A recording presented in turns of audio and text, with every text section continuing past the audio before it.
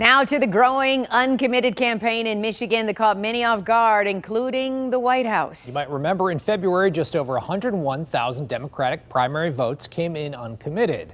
And since then, the movement has expanded from being Arab and Muslim American centric to people from all walks of life. 7 News Detroit reporter Faraz Javed is talking to the group about what's next and a political science professor about how this could impact the race for the White House it's two options. You either become desensitized and do nothing, or you become enraged and do something. Mikhail Goodman, Lexis Zeidan, and Joshua Feinstein are some of the key members of the Uncommitted movement. You're talking about a generational movement. A campaign that rang in more than 100,000 Democratic uncommitted votes in the key swing state of Michigan during the February primary. We actually turned 42% of unlikely and non likely voters to the polls which is unheard of. Was that a pleasant surprise for you guys? We could tell going into those final days that we were on to something special.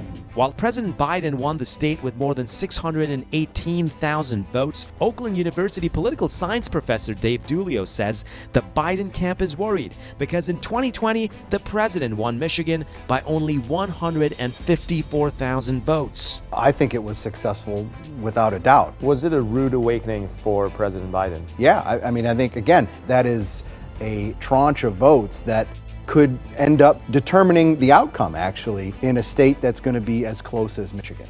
For comparison, when President Obama ran for re-election in 2012, he faced about 21,000 uncommitted voters in Michigan's primary. But this election cycle, in a state with a heavy Arab and Muslim American presence, along with liberals,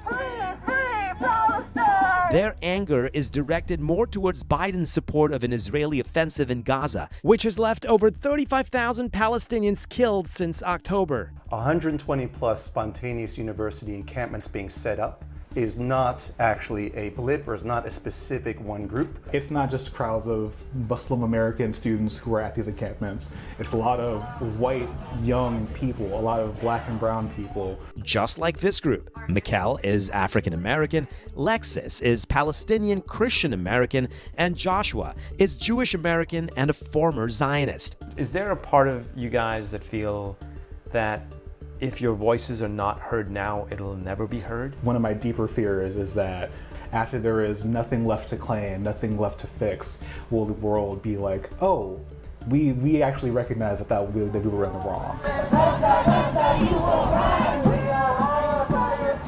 Come November, what are you guys strategizing towards? We're not thinking about come November. We're thinking about August 6th and doing everything every day to lead up to that down ballot races. We're making the statement at the top of the ticket. Now that we have people's, people's attention, get them involved to get at the state rep level, to get at the U.S. Congress level, at the U.S. Senate level, so that we can have people represent the people. 80% of Democrats calling for a ceasefire and only 4% of Congress like agreeing with their constituents.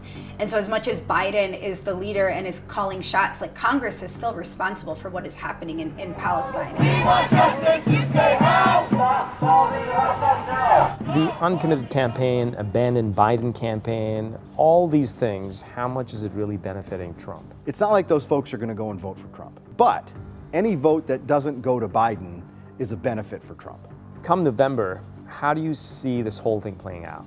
I think Michigan is going to come down to the wire. And I think Michigan is a state that is absolutely critical for Joe Biden's path to 270 electoral votes. A recent Harvard Harris poll shows Democrats overall support Biden's handling of the Israel Hamas conflict. But Professor Dulio says for Biden, the balancing act is going to be tough.